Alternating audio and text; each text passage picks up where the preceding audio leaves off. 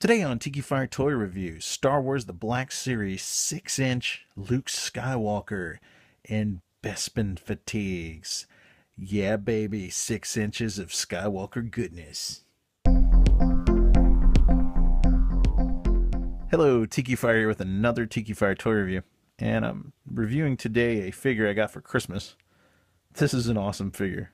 And I knew once I saw him that I had to get him this is Luke Skywalker in his Bespin fatigues from Empire Strikes Back, what many consider to be the best Star Wars movie ever made. I'm not going to argue that. It is awesome. And this is an iconic look for Luke Skywalker from the movie. Here's the box. This is from one of the earlier series, so it's got the orange line. It's got Luke on the front and the top. On the back, it's got a picture of him in the catwalks of Bespin. It says Luke battles Darth Vader on a narrow platform in Cloud City. Rejects Vader's urging to turn to the dark side and rule the galaxy with him. You'll find I'm full of surprises, is the quote there. Pretty cool. This is an awesome, awesome action figure in the six inch line. So much goodness in this action figure. First off, let me start by taking a look. Let's zoom in on him a little. And let's start off by taking a look at his expression on his face. I don't know if you remember in the movie, there is the one scene where he's looking around trying to find Darth Vader because he knows he's hiding somewhere, which is odd because if you really think about it, could Darth Vader hide with that breathing box and all that? Be kind of tough for him to do. Some people say he was suppressing the breathing box with the force. I don't really buy into that. I don't know, maybe. I think it was just movie license, you know, artistic license, and they didn't really think about it. It does work. Darth Vader jumps out at him, kind of scares him, starts fighting him again, and throwing stuff at him. So it works in the movie. Look at that look on his face. That's amazing. And the hair, the sculpt on his head, it really looks a lot like Mark Hamill did in the movie. It's not a perfect likeness, of course. I mean, how are you going to do that in this size figure? But it is pretty darn cool, I have to say. Let's take a look at him. Here's how he looks with 6-inch R2-D2, which I haven't reviewed yet, but let's take a look at them anyways together so you can kind of get an idea. They do look good together. Pretty cool. He does show up with R2, of course. R2 is in his X-Wing when they land at Bespin. And something most people don't think about, his X-Wing gets left at Bespin at the end of the movie. Spoilers, when he gets in the Millennium Falcon and takes off with Leia. So that X-Wing that he uh, presumably was the one that he flew and fought and blew up the first Death Star in, that thing probably got confiscated by the Empire. Just saying. Alright, so let's take a look at him again. Great, great facial facial expression. He looks good. He does. You are able to tilt his head a little bit down and slightly back, but his hair in the back kind of takes care of that. And they sculpted in some nice hair. It really, really gives you the impression this is a real hairdo. Really cool. Although it does make me think of that video that was flying around the internet like eight, nine years ago. Dun, dun, dun. You know that one.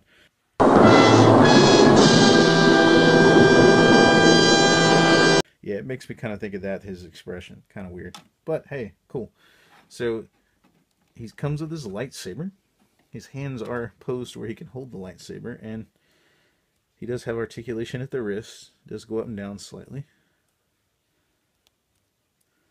He does have the super articulation I would call him super articulation because he's got articulation at the elbow. Kind of a ball joint thing there. He does have another ball joint at the shoulder. Just swivel all the way around. And it will bend about, what is that?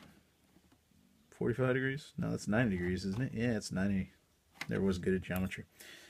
Probably I'm not a good pool player. I don't know. He does come with his pistol, which does come out of this pouch. That's his holster. It does fit in the holster. It is rubbery. Does have some nice paint apps on it.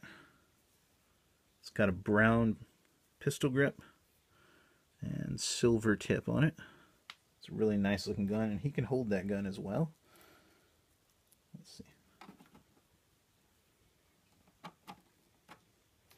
And you can even put his put his trigger finger in there. That's pretty nice. So he can be pointing that at you, which he does use it when he first arrives at Bespin, and the stormtroopers are hauling Leia away. So, and Chewbacca and all them. And she's like, "It's a trap! It's a trap, Luke! It's a trap!" Yeah. Okay. I always liked how she yelled his name. Luke, Luke, it's a trap. I can't even do it. Anyways, she really sounded, you know, Carrie Fisher, pretty good actress. She really sounded worried for him there. And his lightsaber is, of course, the one he loses at Bespin. Mine's starting to get a little bent from holding it. I guess I don't need to put him double-handed holding it and leave it that way. Now this does twist, but it does not come off, as far as I've found. I'm kind of scared to pulling it too much. I don't want to break it and have to glue it. The weird part is, it does hook onto his belt. It's got a hook here. But, as you can see, that doesn't really work too well, because it's hitting the ground. It kind of reminds me of the old 12-inch vintage Luke Skywalker figure. And his lightsaber then didn't have a removable thing. And if you put it on his belt, which it had a big hook for it, but if you put it on his belt, it was dragging the ground, basically. Just like this. Kind of odd decision, but hey. The belt does look like it would come off. Though I haven't really messed with it. And I don't want to take it off because it just looks too cool. Whoops. It just looks too cool. I'm going to set that down. I do love the holster and the way these fit on their legs. Got the strap. And he does have articulation here. He's got the double jointed knee. You can bend back like that. He does have swivels on his ankle, where he or on his foot there, on his ankle. Yeah, you can do that, which is weird, but you can do it. It does tip back slightly and forward slightly. And he does have the swivel on his leg, upper leg, his thigh there. So you can put him in different poses, although it does look a little weird. All in all, I really like this figure. If you can't tell, I think it's a really great figure.